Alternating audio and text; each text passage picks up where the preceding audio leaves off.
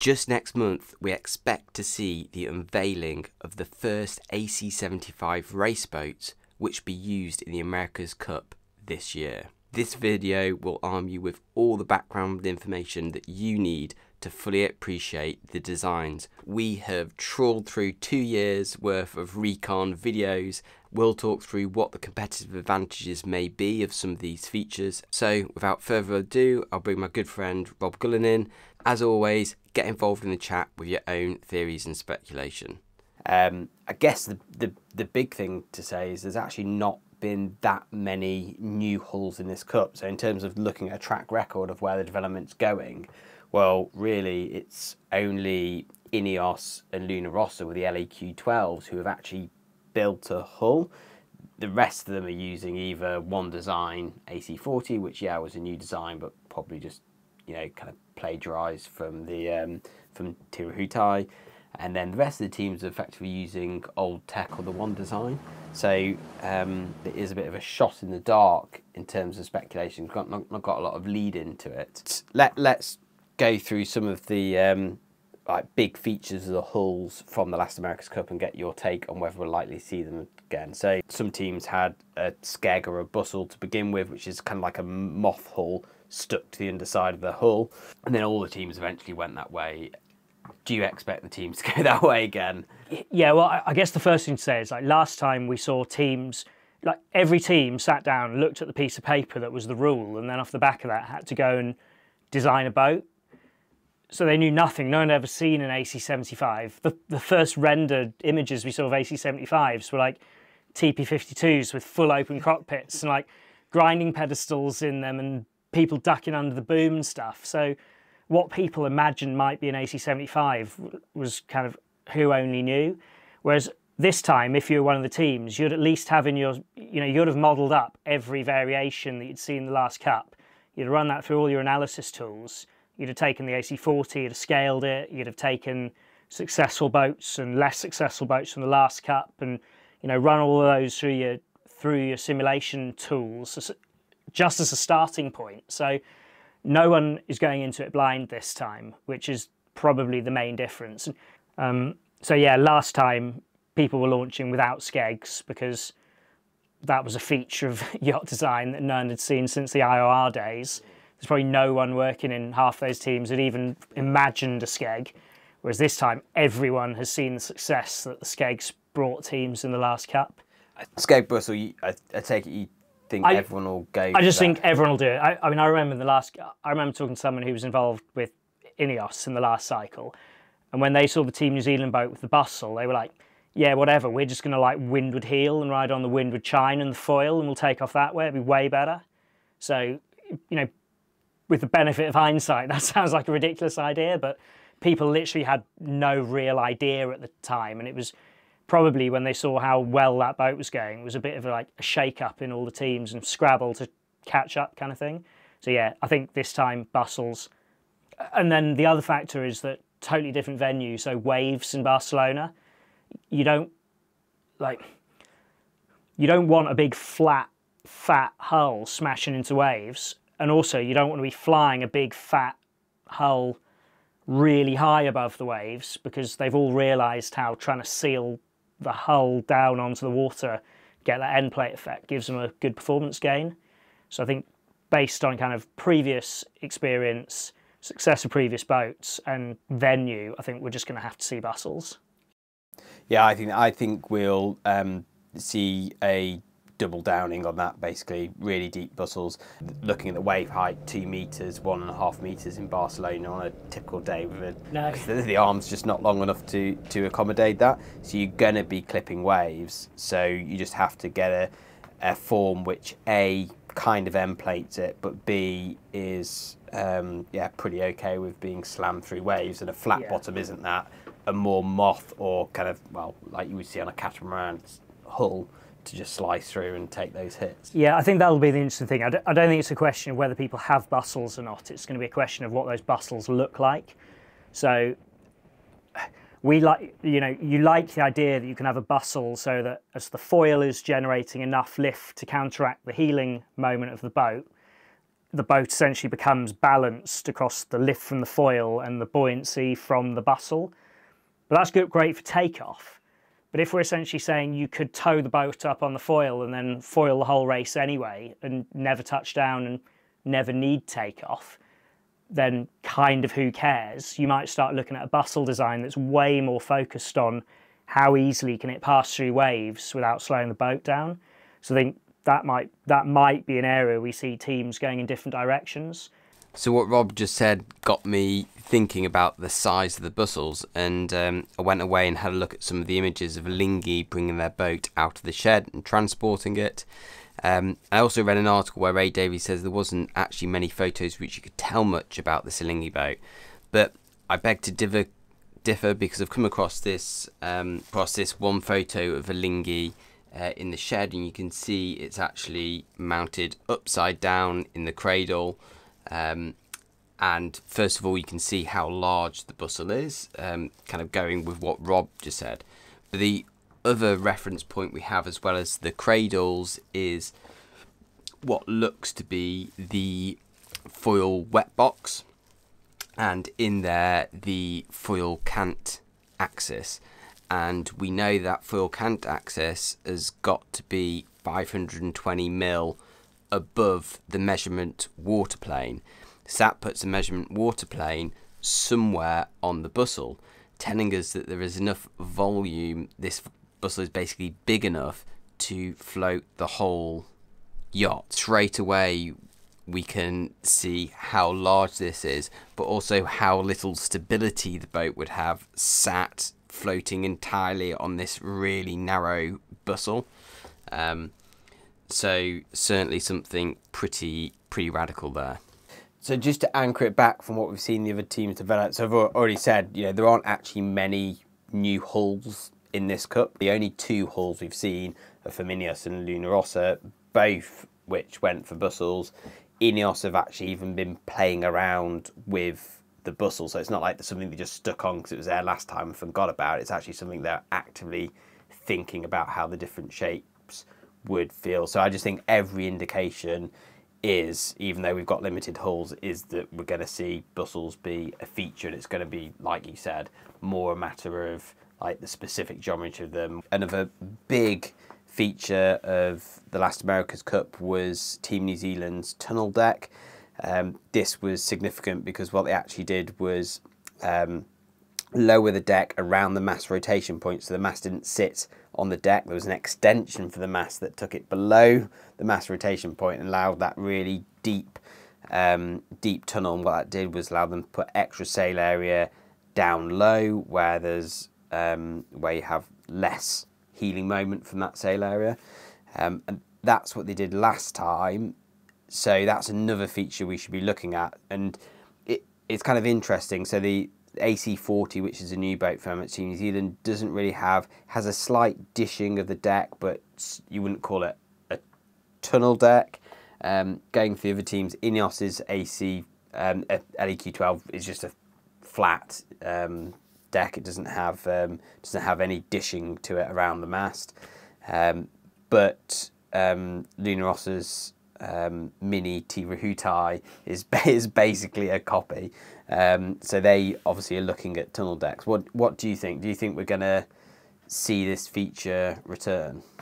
Well, we kind of discussed this before the video. I, th I think it's really interesting, and thinking about it a little bit more since, you you effectively have this freeboard maximum height of 1.7 meters above the measurement water plane. But that measurement water plane versus your baseline of the boat and effectively how much boat you have below the water will change based on your bustle geometry. So even things like the tunnel deck kind of come back to decisions you make for what's below that static waterline. Um, I, I don't know, like, why would you move away from a maximum freeboard boat? I guess it's less frontal area, so good for aerodynamics. It's bad for global stiffness of the vessel. If you imagine the boat is just an I-beam, you're trying to bend that I-beam through forestay and main sheet and mast pushing down in the middle, like the taller that beam is, the stiffer the boat's going to be. So you're really getting into the kind of minutiae of details and like I feel like teams might start cutting down on the freeboard height, uh, and this then starts to relate to another thing that you've seen, which is people are pushing crew inboard on some of the boats, particularly Alinghi. So if you can push your cyclors inboard, they obviously need a certain amount of hull depth to be able to get a static bike in there.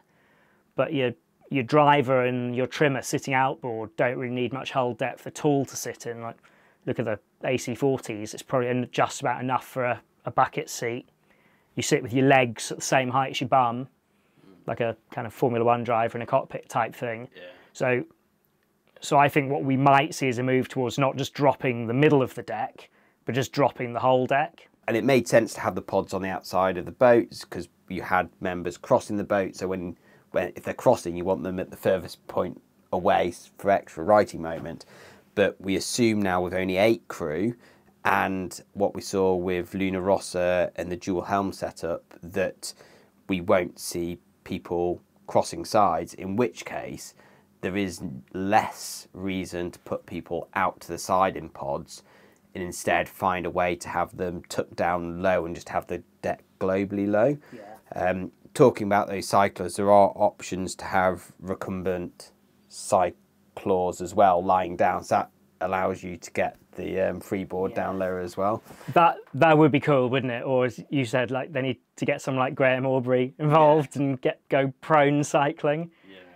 But I think I think that's unlikely because we've seen quite a lot of videos of guys training quite a lot on bikes, and if you were if you were Ineos and you were going to be on recumbents, you probably wouldn't be out with the Ineos Grenadiers riding around on your fancy Yeah. Pinarello dogmas. You'd be riding around in recumbents. I think so. I, I also think it's actually incredibly difficult to put the power out in a recumbent as well. Like they they are so efficient because of the aero, aerodynamic aspect of it, which does come to play here. But you could hide a human sat up on a bike and just upper body tucked down. So um, I think there's less reason to go for that. And yeah, like a recumbent's great if you want to ride zone one for 18 hours Yeah. and go really far, but not very good if your goal is maximum power output for 20 minute race. Which it, I mean, we said if they're not swapping sides and there's no reason to have them outboard, what but what other advantages would there be of having people inboard? yeah, and like you look back to the last cap, and you saw so American Magic with their first boat started with everyone pretty much at the back putting weight over the rudder, but again, I think we've seen the techniques evolve. So when people are taking off now, they tend to take off by the stern first. Um, so you don't really want the weight in the back.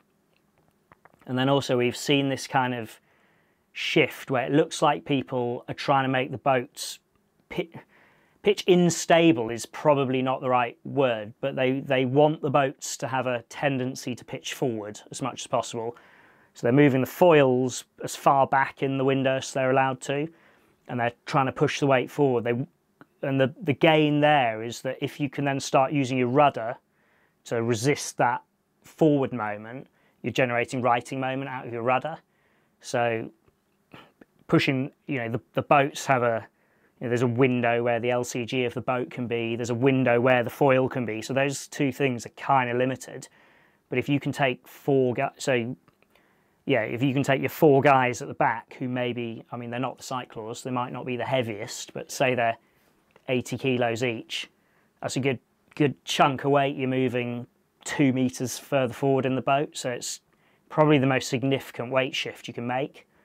Yeah, just to go into that point again, effe- effectively the rudder, because that's offset to windward of your lifting foil, any lift that that rudder's doing is kind of going against the, or is adding to the heeling moment of the sail. So it's, it's not doing your righting moment any favours. So the less work you can do with your rudder to lift, whether that, or even actually pull down at the back in an ideal world, would give you extra righting moment. So the way you need to do that then to get as much weight over the main lifting surface, the foils, um, to lift the boat out of the water. And yeah, there's two ways you can do that: moving the crew forward, and we've seen them all move from the last cup where they had um, wings which were kind of like level with the arms, and now they're all back all the wings are actually back behind the arms. So they've moved the wings back and the weight forward just to get over that foil and have the rudder do as little work lifting as possible, or even actually pulling down, adding to the righty moment. Yeah, and the really extreme example of it is when you watch the um, the F50s in Sail GP. Their windward rudders are producing serious downforce to the point that if they do the bear away and the windward rudder comes out the water, they can capsize the boat because they lose so much righting moment from that. Um, Do you think there's going to be?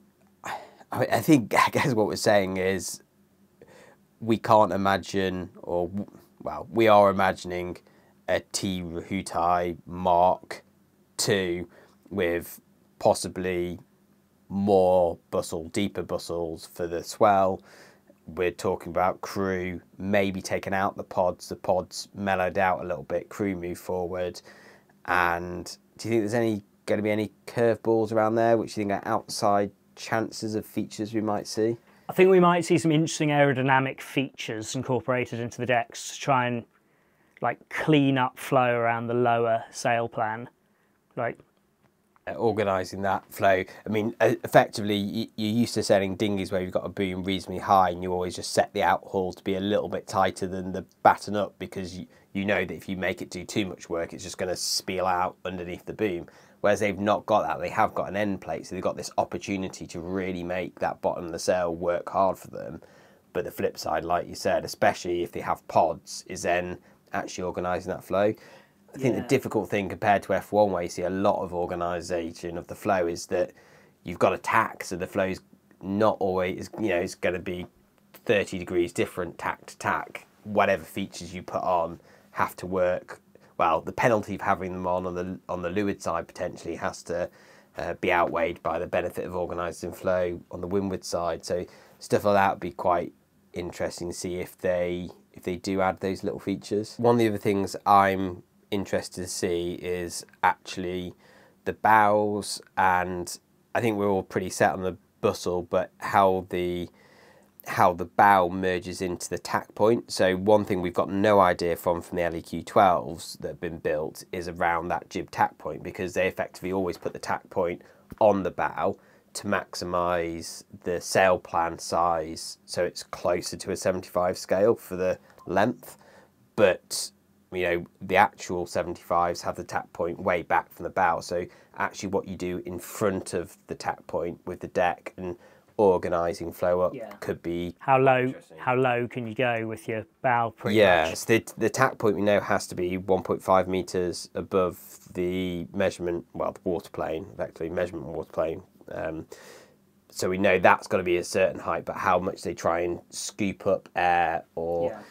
Versus and obviously if you're scooping up air if you bow get if your bow gets particularly low you'll start scooping water. So there's that side of it as well. So there's a bit of a trade-off. And we there's some nice i'll put up on the screen nice like um, bow on photos of Te Rehutai from the last cup where you can see that kind of like the underside of it is is kind of like a almost like a motorboat kind of like got those Yeah. twin scallop shapes coming out. But then the top side is this nice curve rounding up to the tack point um, so I think we could see some development around that.